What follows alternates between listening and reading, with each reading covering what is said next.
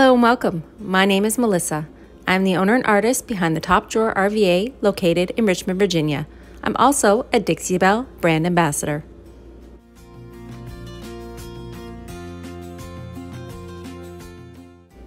Today, we're going to work together to make over this beautiful French provincial lingerie chest.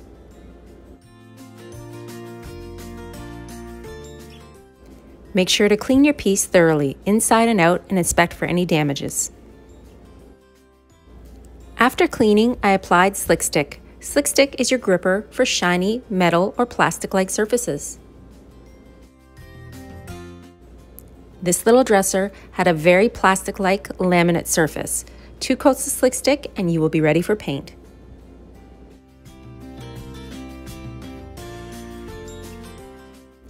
Don't forget to wait 24 hours for your slick stick to cure before you apply your paint on the surface. What's the plan going to be for this piece? Well, I am going to base all of my colors off the beautiful translucent garden transfer from the Bells and Whistles line.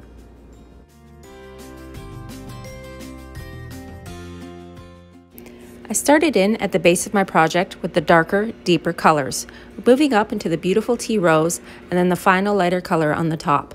I wanted to make sure that my colors would be ombre blended together in a seamless fashion. For this, I used my Best Dang brush and my spray misting bottle filled with water.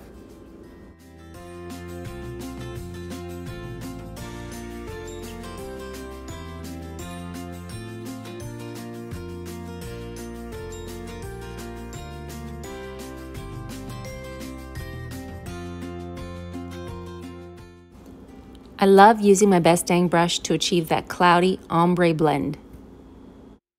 After your paint has dried, you can apply your beautiful translucent garden transfer.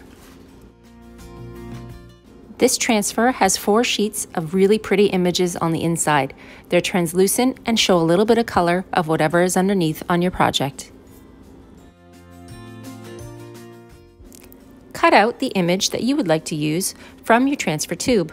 Remove the plastic backing. Adhere the transfer to your piece of furniture.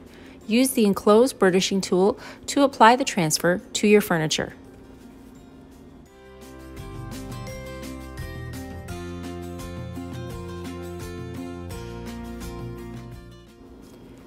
Use the enclosed tool along with a small knife to work in around the edges and cut around the drawer sides.